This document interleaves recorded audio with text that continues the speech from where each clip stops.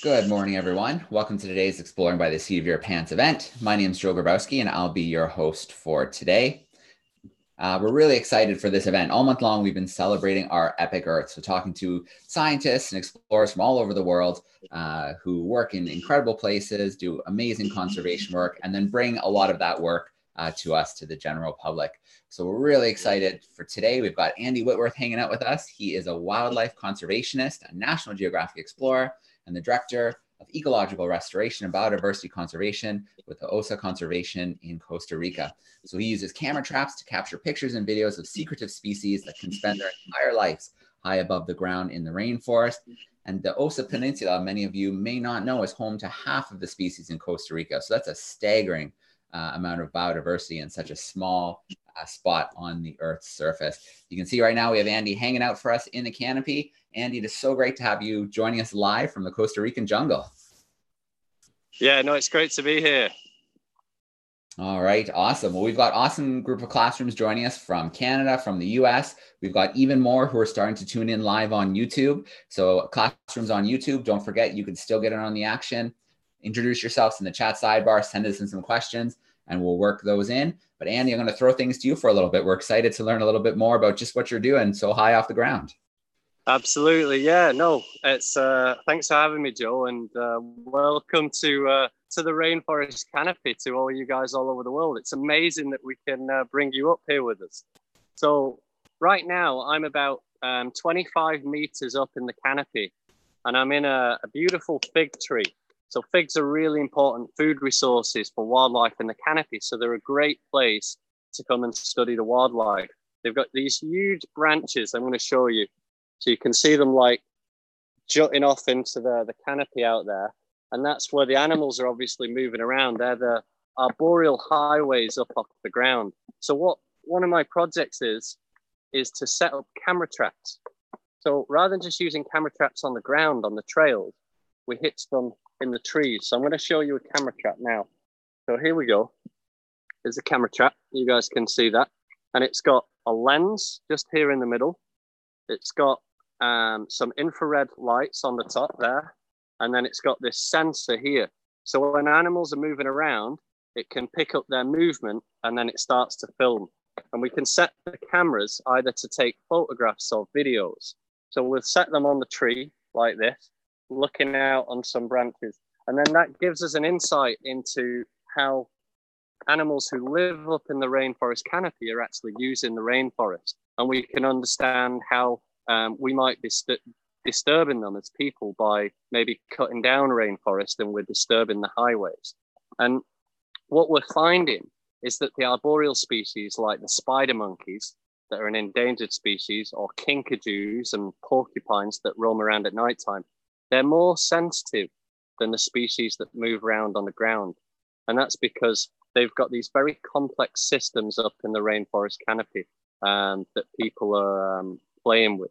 So that's part of what I'm I'm trying to do is understand more about how wildlife use rainforest canopies. And um, just like Joe said, Osa Peninsula is incredible because we've got half of all the species in Costa Rica, but rainforest canopies also have over half of all species as well. So if we only study wildlife on the ground, then we're missing so much biodiversity. I'm going to give you a sense of where I am as well. So you can see I'm right up in the treetops here. So these are the upper branches. And then I'm going to show you my dangling legs. So there you go. And you can see my ropes just disappearing into the ground down there. And this is actually a medium sized tree. Oh, so some of the trees we do are double this height. They're up to 40 meters. And that's where you get the really like big eagles up there, like harp eagles and crested eagles love to nest in those giant trees so yeah, that's uh, a little bit of the work that we're doing um, up here in the canopy. So I'll, I'll throw it back over to Joe and maybe you guys have got some questions. Absolutely, Andy. So um, just to get things started, can you tell us a little bit um, more about the peninsula itself? Uh, it's a spot that I think some students might not have heard of, but it is just a, you know, as we've said, a treasure for biodiversity on the planet. Yeah, absolutely. So the Osa Peninsula. A peninsula is like a little bit of land that juts out into the ocean, right? And, and what that means is that this peninsula at various um, periods of time geologically was an island. So that when the oceans were higher, this was an island. And then when the ocean's lower, it's connected to the mainland. So you've got many species of uh, animals, many types of animals that we call endemics. So what that means is this is the only place in the world that you can see them. So there's a, a really beautiful bird called a yellow-billed cotinga. It's one of the only places in the world that you can see that bird. We've got a tiny poison dart frog, and it's the only place in the world that you can see this particular species of poison dart frog. So we've got incredible levels of what we call endemism. So these unique species. Um, and the peninsula is just fantastic for that. And because it's right in the south of Costa Rica, it's one of the last wild places. So there's not big populations of people. So there's really good forest cover and there's lots of animals. We've still got jaguars and white-lipped peccaries down here, which is just fantastic. Yeah, and I think that's a, a really good point to bring up, Andy, is that Costa Rica in general, the government has done a really good job of preserving and protecting wild spaces. Can you tell the students a little bit about that? Yeah, Costa Rica has been really an environmental pioneer in, in the field of conservation and environment. And what happened is uh, just over 30 years ago, they brought in some incredible forest laws that meant that we had to keep the riparian areas, so the areas around the river systems, it's illegal to deforest them. So you've got to keep those forested. So it means you've got good connectivity and uh, areas for animals to pass through, and you help to keep water quality good. And what they also did was brought in a no-cut forest law um, and, and unique payment for ecosystem services. So it's where farmers and landowners can receive money for keeping forest intact. And so what they've done is they've doubled forest cover in 30 years. So really short time frame Costa Rica went from 25% forest cover to 52% forest cover. So they're a great example of um, how, if we want to change things in the world for better, with the right conditions, we can do it and we can do it really quickly. So it's a really great good news story for conservation. All right, absolutely. So there, I mean, it's a great model for other countries uh, to follow along as well. All absolutely. Right. All right. Well, let's take a little spin through our classrooms. Let's get to meet some of our classrooms. I'm sure they have some questions about the gear and the heights and all kinds of things, the animals that you see. So let's uh, let's start meeting some of our classrooms. Yeah, let's do it. All right. Let's see. Let's get rolling uh, with Mrs. Butler's class. They're hanging out with us in Virginia Beach in Virginia. So I'm going to turn their microphone on. How are we doing, Virginia Beach? Good. How are you? Back up right there. Look, look at the camera. All right, here's your question. Go ahead and read your question. What do animals do if there's a storm? Sorry, what do animals? What do animals do if there's a storm? Oh, that's a great question. I'd love to know what they do. You know what I think they do? I think they grab a hold like this No, it's a great question because we get some big storms. Right now we're in dry season, so it's nice and sunny. But in around June, July, and August, the the first rains start and the storms come, and these trees sway around like a few meters either side. And I've been up in the trees when they're swaying around, and it is scary. Um, but honestly, they're just so well adapted to. They're not like me, where I'm like dangling on a rope. These guys are incredible acrobats and uh, a lot of the monkeys out here have got prehensile tails, so they can wrap their tails around the branches and they just hold on really, really tight. Um, but yeah, it must be pretty scary for them. Great question. That's a great question. And you brought up a really good point, Andy. This is a massive ecosystem. Uh, and it's an ecosystem that's so far away from us that uh, we know so little about it. And, you know, that's what you're trying to do with these camera traps, these video and these camera traps, is shed a little light uh, on a, a habitat that we rarely get to see. Exactly. I think there's two big ecosystems on, on Earth that we know next to nothing about. One is the deep ocean, and the other is the rainforest canopy.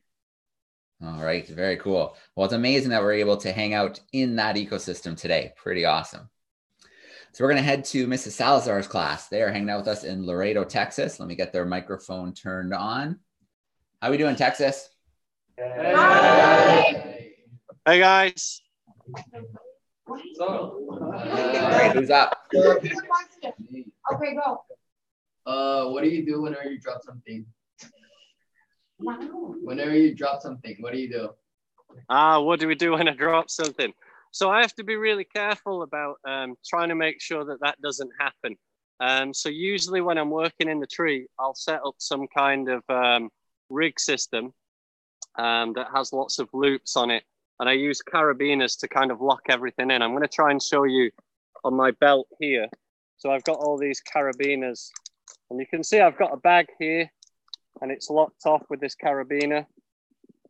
And I'm just trying to honestly work really safely. But sometimes it does happen. And um, that's why the guys that are on the ground, so I've always got usually two people on the ground for safety in case of an emergency. Um, they're all wearing helmets as well. So if I do drop anything, um, I'm not going to knock them out. But uh, yeah, I suppose I made a few mistakes early on, but usually now I'm pretty good about not dropping things. but it does happen sometimes. All right, very cool. Well, you learn from experience. You learn on the job. You sure do. All right, we're heading to Richfield, Minnesota. We've got some fourth graders hanging out with Mr. Pregler. Let me get their microphone turned on. How are we doing, fourth graders? Good.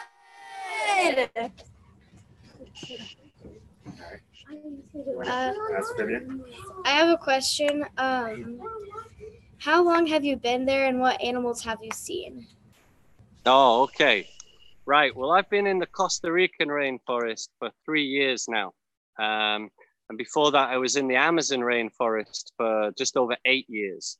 So, over 10 years now living and working in the rainforest. So, I've been really lucky that I've seen a lot of wildlife. Um, my I suppose I've seen a lot of the incredible things. Like when I've been up in the canopy, I've seen um, spider monkeys, obviously going around through the trees. Beautiful big scarlet macaws just flying through the canopy, and they're really noisy. They make a crazy sound. Um, but what I really loved is some of the small things that I've seen. So I've seen um, pit vipers, so um, venomous snakes that kind of coil up in some of the branches and leaves um, I've seen them high up in the canopy at like 30 or 40 meters up there. And I love snakes. So pit vipers for me um, are really cool little uh, things I found in the canopy. And then every now when I'm working up here, I'll see different types of lizards and different bugs and insects. Um, but there's just so many things to see, so many things to find. Um, and on the ground, I've, I've seen things like uh, white-lipped peccaries are awesome. They're these like wild pigs that go around in huge herds, and then you usually get the jaguars following the the wild pigs. So I've seen jaguar three times now, and then just last week I was walking down the road and I saw a tiny, a small cat called an ocelot just ran across the road in front of me. So I've been really lucky. All right, absolutely amazing. Uh, let's see. Let's jump to. Oh, actually, before we jump to our next class, I want to give a shout out to our YouTube classrooms. We've got a lot of classrooms starting to tune in now. So use the chat sidebar on the right, introduce yourself, send us in some questions, and to all the classrooms tuning in today, take some pictures of your class in action, uh, post them online, tag us at Exploring by the Seat of Your Pants. You can tag uh, Andy at Andy Rainforest because we want to see pictures of your classrooms in action. All right. Ms. Gallows Group hanging out with us in Toronto, Ontario. Let me get your microphone turned on. Uh, there it is. Yeah. How are we doing, Toronto? Hey. What do you do on a day-to-day basis? Uh, okay, day to day. Well, you know, that kind of changes. That's one of the best things about um, my job. Um, so sometimes I can be doing uh, stuff kind of like you guys sat in a, a classroom or an office and I'm looking at data. So I'm doing some coding and some analysis and exploring the information that we found. And then I've got to type that up and publish scientific articles so that the information that we get goes out around the world um, and it inspires other people to do similar kinds of work. And, and it's really nice. So I've seen my work now. People are doing similar projects in all around the world, in Africa and parts of Asia. People are starting to explore rainforest canopies. Um, so it's just incredible to be able to see that message go out. Um, and then on other days when I'm on expedition and I'm out in the forest, I'll usually wake up really early. Um, the, it gets light here at about 5.30 and the howler monkeys start calling. So you, they kind of wake you up and you start your day around 5.30. Um, and it's nice and cool in the mornings. So that's when I like to start climbing. I, I like to go out by like 6, 6.30. Um, and that's when I want to get up in the canopy and get the cameras set up. And I want to kind of be down from the trees by around 11 because it gets really hot. Um, and then I kind of go to the biological station where all the other researchers and students and scientists are hanging out, have lunch, talk about what are the projects other people are doing. Um, and then I might go back out in the afternoon, do some more climbing. And then obviously in the evenings, it's dark at like 5 30, 6 p.m. here. So I'll kind of watch the sunset over the Pacific Ocean. Um, and then in the evenings, I'll sort a lot of the data. So you've got to like collect the SD cards and then start organizing the data so that you can actually do some research with it. So I'm really lucky because it's super varied. And um, and then sometimes I have students coming out to the rainforest to uh, to learn about what we do. And so sometimes I'm doing some teaching as well. All right. Well, it sounds like an awesome gig, and I especially like the way you spend your evenings. Wouldn't be too happy to see uh, that view each night. Yeah, it's it's paradise. All right, let's jump to our next classroom. We are going to go. Let's see, Miss Miss Thompson's group. They're hanging out in Peterborough, Ontario. Looks like some grade sixes there. Let's get that microphone turned on. How are we doing, Peterborough?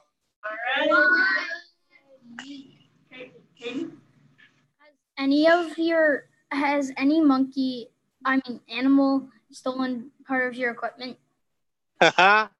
Great question. Yeah you know it's it's really interesting. So most of the animals kind of they're not scared of the camera traps but they're aware of them and they kind of some of them will just ignore them. So kind of how the monkeys tend to like look at them but they don't ever touch the camera traps. But there's two species that always go and play with my cameras. And they they're really mischievous and they try and pull them off the tree or they try and bite them. So one of those is the capuchin monkey. So capuchins are one of the the most intelligent monkeys in the world. And they spot the cameras and they'll try and go straight over and they start looking and they start grabbing and they start bite, biting. They're they're, re- they're a real problem for me.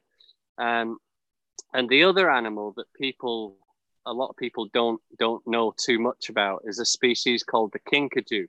So a kinkajou is in its own family. It's it's not a monkey. It's in a family called the Procyonidae, and they're nocturnal, so they go around at nighttime, and they are very much like the capuchins, very mischievous, but they tend to go around on their own. They're kind of solitary, so they don't go around uh, like the capuchins in big groups and big gangs, um, but they always come and sniff and bite the camera traps. So yeah, those two species in particular are a real uh, a real problem. All right. Uh, Mr. Deer's class, grade seven's hanging out in Chesapeake, Virginia. Let me get their microphone turned on. How we doing, Chesapeake? Oops, sorry, we're doing the. That's okay. All right, who is up? Um, this is Taylor. Here we go. Hi. Have Hey. you ever had issues with animals being mean or aggressive? Um, you know, I I really haven't had any species be kind of it's it's never ended up being dangerous for me. Um, with with most of the species that you'd expect. Sometimes I'll get like a you know a male spider monkey or uh, a male capuchin who kind of comes over and they'll like shake the branches and they you know they, you can see that they're a bit irritated and they're like confused about why you're in their tree. Um, but they've never physically kind of attacked me so they don't to be seem to be too much of a problem. The one animal that has attacked me and is really dangerous is, are the africanized honeybees so I was, um, this was about uh, a year and a half ago now. And I was actually on the ground working the, the lines on the ground. And I had a friend up in the tree uh, and he started screaming and he was being attacked by Africanized bees. And um, it was a really dangerous situation. um, and he was getting stung by hundreds and hundreds of bees. But luckily, with the climbing system that I use, you guys can probably see I've got one and two ropes. So I've got like a safety rope on, on here. This is my safety.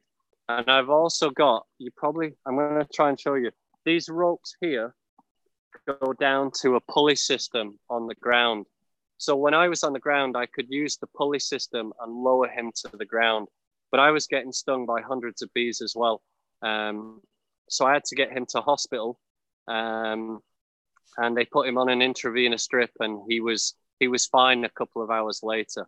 But that's the scariest animal was the Africanized honeybees.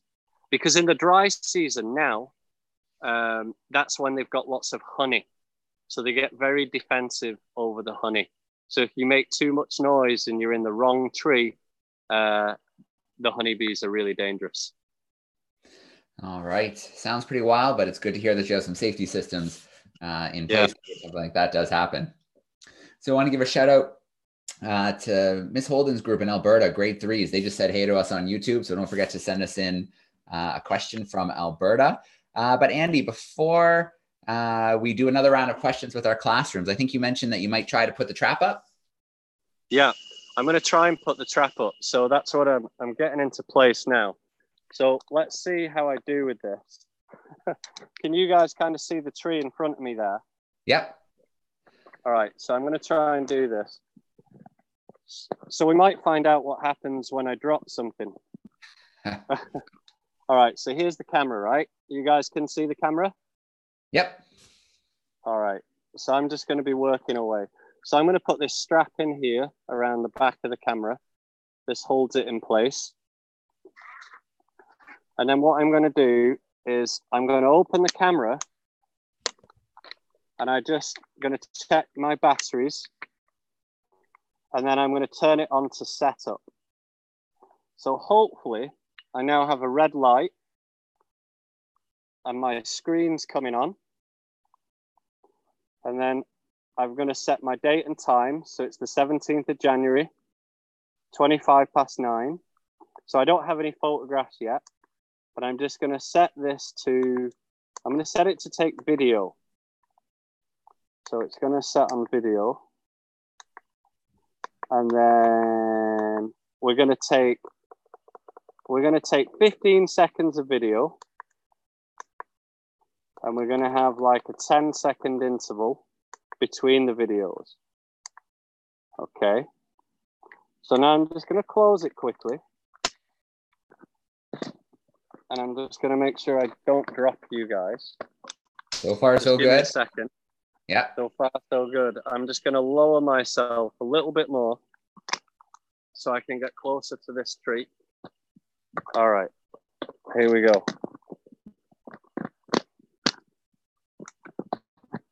Here we go. All right. So then I'm going to put my strap around. This is the key now. You've got to be careful not to drop this at this point.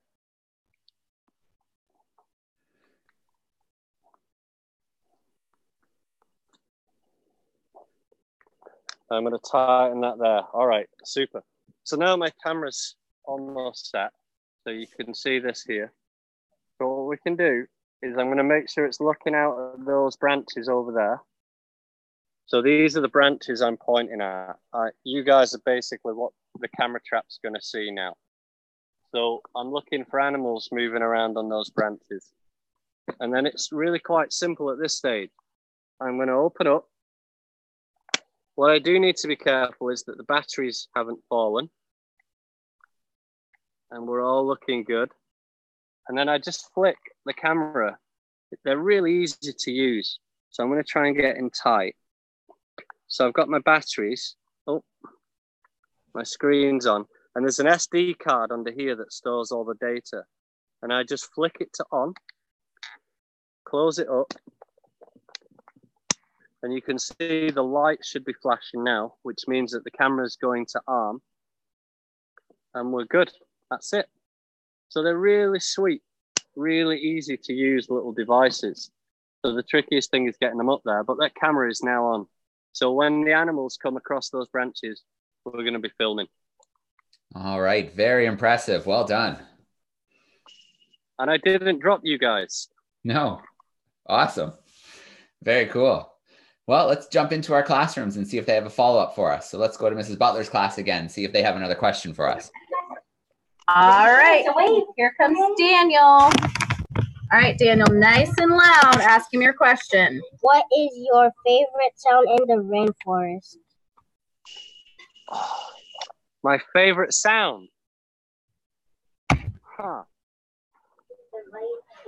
Oh, that's a that's an awesome question. I'm trying to figure out what my favorite sound is. You know what? I think it might be there's because there's so many sounds. Um, do you? What I also have, guys, actually is um, I should share it with Joe later. We have some devices up in the canopy that stream the sounds of the rainforest. Um, but my favorite sound is when the wet season comes.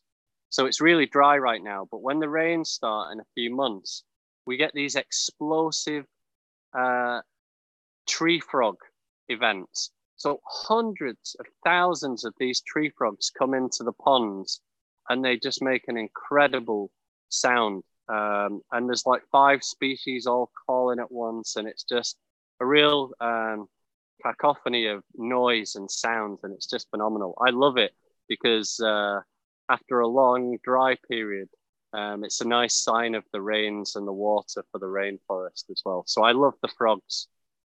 All right, very cool. Andy, afterwards, if you want to share those links with me, or if you have any uh, pictures or little videos to share with the classrooms, I think they get a kick out of that. Absolutely, yeah. I've got some really nice video footage from the the cameras as well. Perfect. Let's go back to Texas. Miss Salazar's group is with us. Your microphone is on.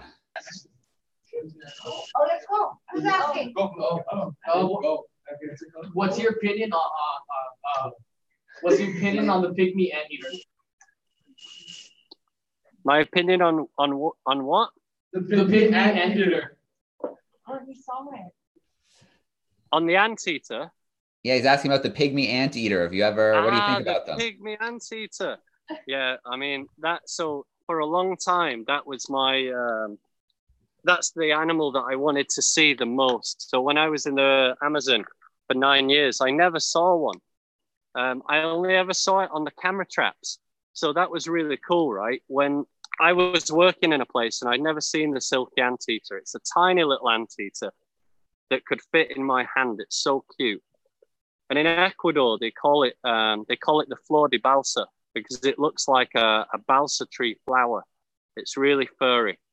Um, and what was amazing when I came to Costa Rica, I got to see one in life for the first time, and um, it was in a really weird place. There was a guy who has a farm on the peninsula, and this little pygmy anteater was living in the trees uh, in the fence line of his farm and it's just awesome. One of my favorite animals. We we know really nothing about them.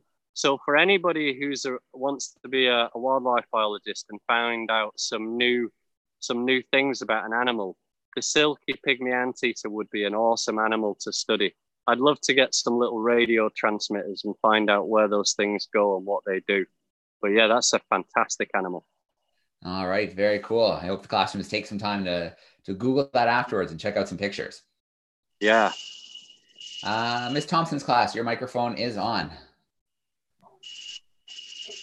What is the most expensive equipment that you've dropped? the most expensive bit of equipment.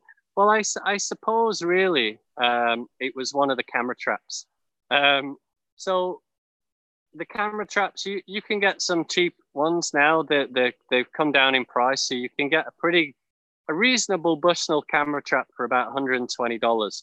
But the camera that I dropped was a, a Reconyx, which was a, a $400 camera trap. And uh, I dropped it to the ground. But luckily, it still worked. So I got away with it. All right, they're trying to get you to tell all the embarrassing stories now. Okay, uh, let's see. Mr. Pregler's group, let's get your microphone back on for another question. All right, go ahead. Chase. How do you rappel up into the tree? All right, cool. Good question. So I'll tell you a little bit about the whole process. So first of all, when we find a tree, and we've got to know that it's a safe tree to climb, right? We've got to know, ideally, we want to know what species of tree it is. So some trees are really soft and some trees are really hard. So you've got to get really good at botany and you want to be able to learn your trees or work with someone that does. Uh, and then we've got to find a nice healthy tree and we want to fire the line over. So we use a giant catapult to fire a little weight bag and a thin line over. And then we pull over the big heavy lines, these two big heavy lines. And then to get up there, what you can see here, I've got like a chest harness. I'm trying to pull this in. And I've got this thing here called a chest harness. And I put my rope inside here. It's like a little clip. And then what I do is I use this hand ascender here that clips into the rope and I pull myself up on the rope and the rope slides through the chest descender. And then to get down, I use this piece of kit here. This is called uh, a descender, an, I, an ID. I'm just going to show you the front of it. So this, it has a handle that comes around. Can you see that? There we go. So it has a handle, and if I pull the handle, my rope slides through there, and I rappel down. So I'm going to show you guys at the end of the video. I'm going to I'm going to try and rappel down so you can see it in action. All right, very cool. Great question. Um, let's see. We need to go to our class in Toronto. Let me get your microphone turned back on. There we go. We're ready. What is the apex predator in the rainforest excluding humans?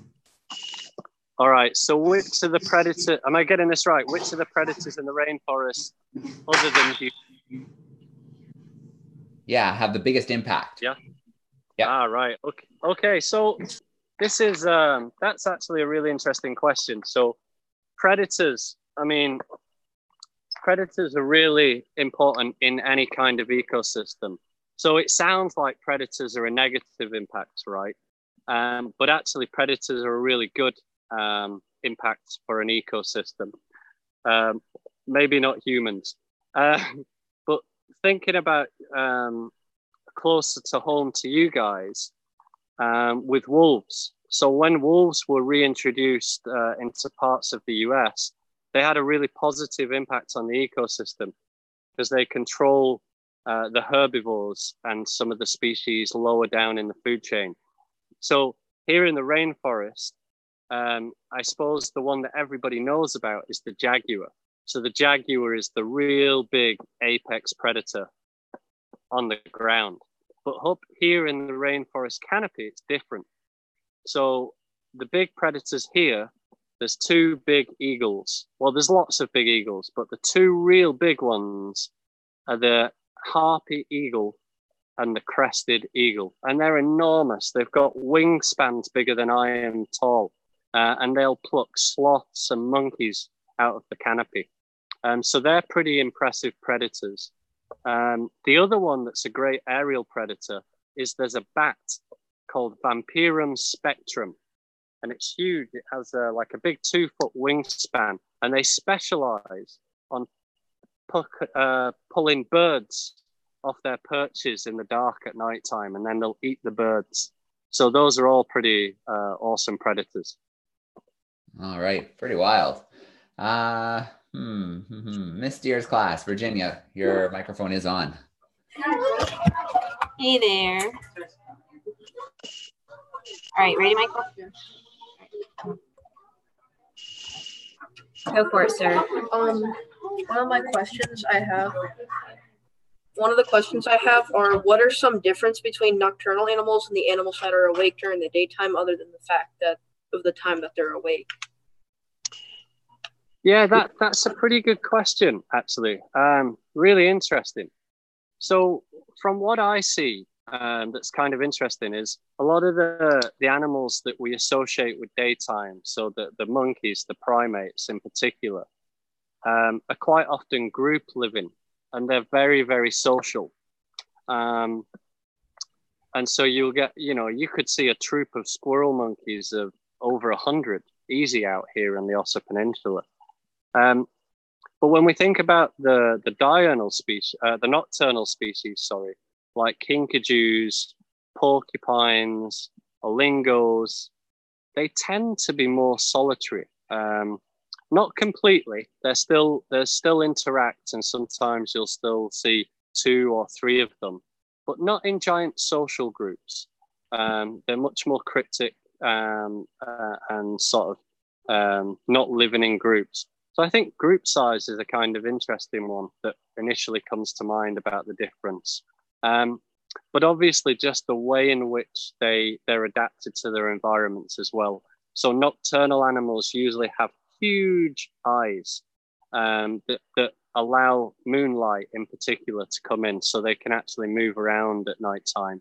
Um, whereas a lot of the diurnal species have much smaller eyes um, and they're more skilled at detecting um, maybe differences in colors so that they can find out when fruits are ripening. Um, maybe the nocturnal species rely more on a, a sense of smell. All right, another great question.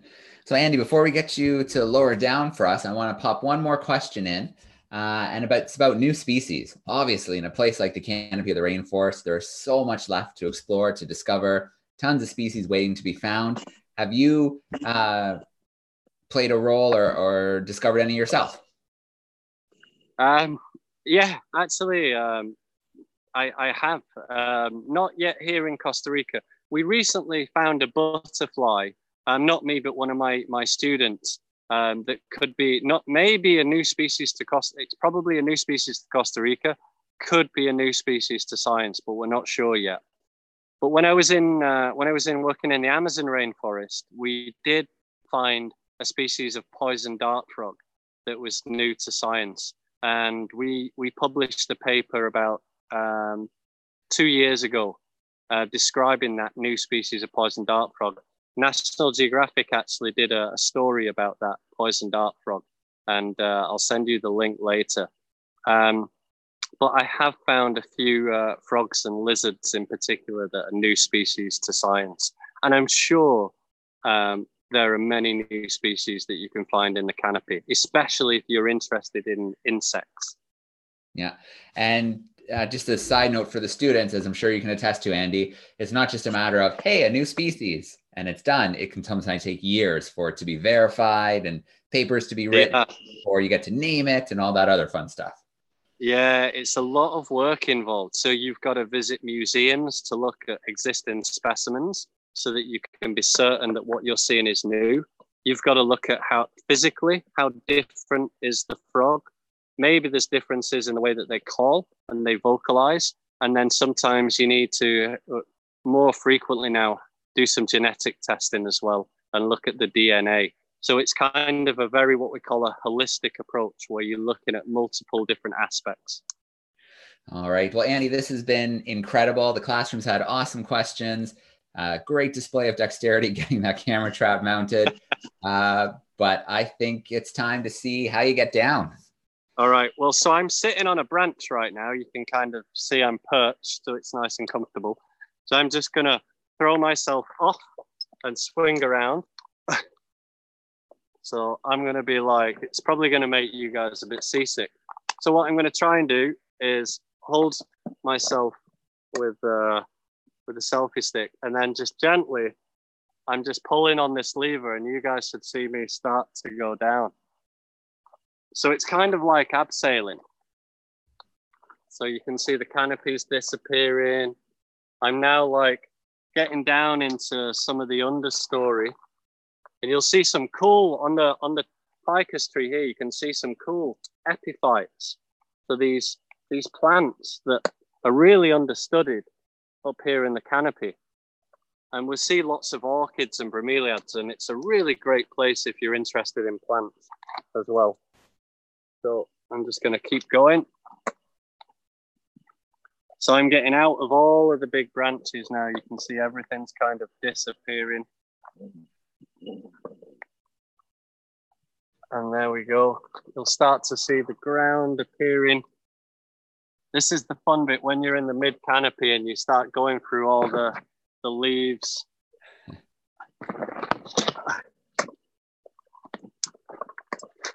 Going down's much easier than coming up. and sometimes I'll be climbing. See, things get stuck on the branches. There we go. And then sometimes I'll be climbing maybe four or five trees a day. there we go. And we should start to see the buttress of the tree appearing.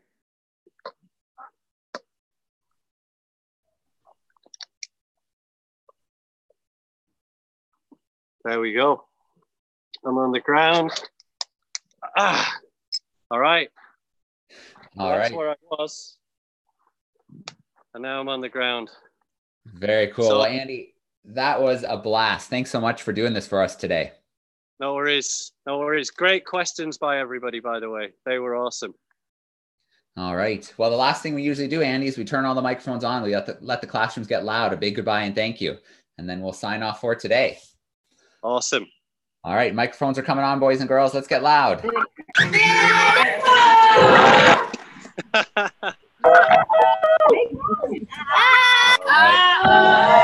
Excellent job, as per usual, boys and girls. Uh, thanks so much for hanging out with us today. Andy, thank you so much. That was incredible. We love when we can do stuff like this live with classrooms.